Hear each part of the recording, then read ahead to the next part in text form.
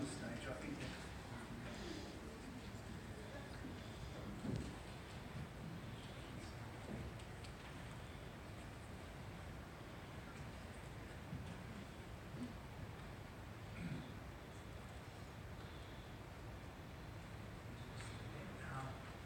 So the team members are Dianne Gleeson, Elise Furlan, Alejandro Trujillo Gonzalez, Richard Duncan, Sumaiya Hinlo,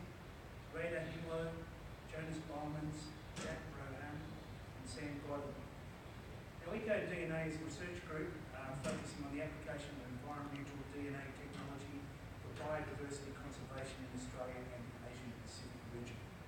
They focus research partnerships on research partnerships which accelerate engagement and update of dna technology for wildlife management and conservation. The outcomes of their research have improved detection of invasive species